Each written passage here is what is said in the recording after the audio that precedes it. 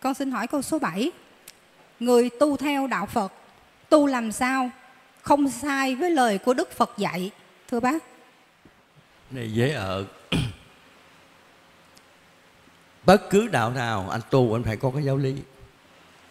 Còn nhà có giáo lý, giáo lý dạy gì thì anh làm y vậy làm sao sai. Còn anh tu không có giáo lý thì anh anh tưởng thì anh tu sai, vậy thôi. Cái này nó rất dễ. Thấy không? Bây giờ đạo nào vậy đạo nào nó thật đạo nào cũng có, có giáo lý hết nhưng mà tại vì có nhiều người ta không không cần giáo lý mà ta chỉ tu tưởng thôi. Nếu mà nói về cái giáo lý không ai dám áp dụng cái giáo lý. Có khi nào mà ông Phật Thích Ca giáo lý biểu cúng không? Hoàn toàn không có biểu cúng. Mà giờ ông cúng là sao? Thì mà đi ra ngoài giáo lý. Nếu mà không nếu mà à, tu mà không sai thì phải có giáo lý. Còn không giáo lý hoàn toàn tu sai đơn giản như vậy thôi. Rồi câu hỏi tiếp đi. Dạ con xin phép hỏi câu số 8 ạ. Thưa bác bác tu gì mà ai hỏi gì bác cũng trả lời được. Xin bác giảng dạy cho tụi con hiểu ạ. À. này không có tu gì trời trơn mà tôi hiểu cái công thức. Tôi hiểu công thức thế giới vật lý này ai hỏi gì tôi nói hết. Tôi hiểu được công thức hữu hình và vô hình.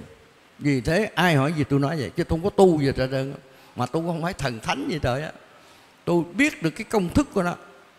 Nhớ không? vì thế mà ai hỏi bất cứ cái gì hữu hình vô hình tôi nói cho nghe. Bởi vì bởi vì tôi đã từng tuyên bố rằng mấy năm là tôi nói tôi, ai ai nói tôi mà nói sai là đây. Đấu chắc với tôi. Tôi thua tôi tặng cho cái chùa này luôn. Còn tôi không hạ được tôi thì làm ơn cho tôi hoạt động một cách bình thường, cấp giấy phép cho tôi hoạt động. Tới giờ này chỉ cho cho cho miệng thôi, chứ không cho bằng giấy tờ. Thấy không? Tôi nói thật, hiện giờ mình hoạt động đây là hoạt động bằng miệng. Vì theo luật tín ngưỡng không được cấm ở chùa này. Thành ra tôi mới tồn tại. Tôi cũng không có tài bòa gì mà tôi hiểu được cái công thức. Giống như con à, đi làm à, bác sĩ đi con học tốt nghiệp cái công thức nó rồi con mổ tim mổ gan mổ phèo mổ phổi gì cũng được hết. Con hiểu được cái công thức đó. Còn không dầu con có tốt cơ mà tốt nghiệp bác sĩ mà con hiểu, không hiểu công thức con không làm được.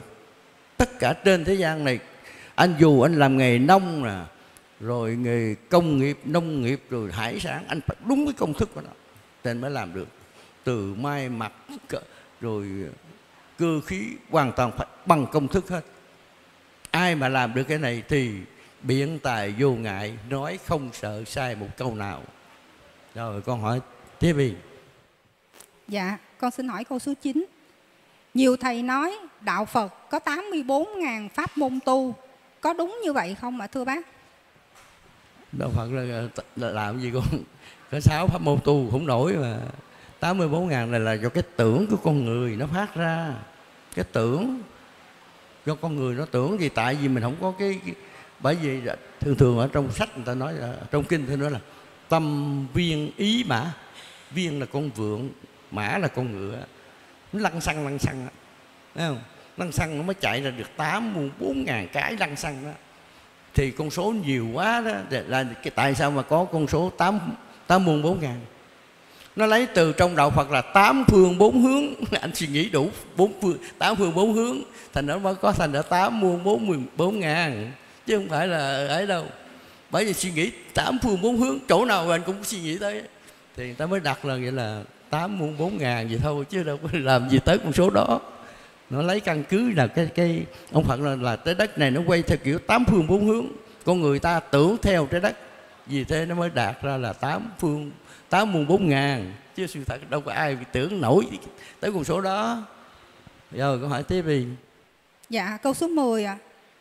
tại sao các nơi khác không nơi nào dạy công thức đường về Phật giới mà chỉ có duy nhất chùa Thiện Tông Tân Diệu lại dạy ạ? À?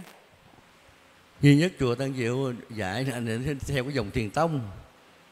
Ông Phật có ai có biết là hồi năm 24 tuổi Thái tử Tất Đạt Đa qua gặp vua Hùng Nghị Dương không?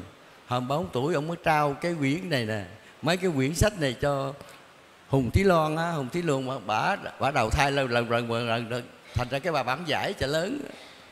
Hồi chưa bả là công chúa, công chúa Hùng Thí Loan á. Thấy không? thì giao cho bà này thì bà này mới dạ, mới truyền lại cho thế hệ sau nhưng mà tôi nói thiệt cái này không phải là đầu tiên tôi nói là ông ờ, Thích Đức Hà đó, ông sinh năm 1851 nếu bữa nay ông còn, nếu mà tuổi tới bữa nay là 159 tuổi 159 tuổi. Đầu tiên ông cũng nghe cái biểu là đi tìm long nữ để mà giao cái quyển sách này. Ông không tin. Ông nói, long nữ mà làm gì? Sao tôi kiếm long nam? Giao ông long nam long nam hỏi, được 3 tháng long nam không làm gì được kia rồi, ông lấy lợi nên lợi phải đi tìm cái lông nữ. Thấy không? Đó, thì lông nữ lông nữ làm không nổi, thì giao lợi cho con lông nữ. Có vậy thôi, chứ không phải không phải đơn giản cái chuyện này này mà cái này nó mà phổ biến ra thì có người giúp đỡ mới phổ biến được. Còn không có không có người giúp đỡ thì hoàn toàn không không không cách nào phổ biến cái này được. Nó nguy hiểm vô cùng. Nó phải cái bằng thiên thời địa lợi nhân hòa mới phổ biến được cái này còn nếu mà không có đủ ba cái yếu tố này thì hoàn toàn hoàn toàn người mà phổ biến sớm và chết liền rồi câu hỏi tiếp đi.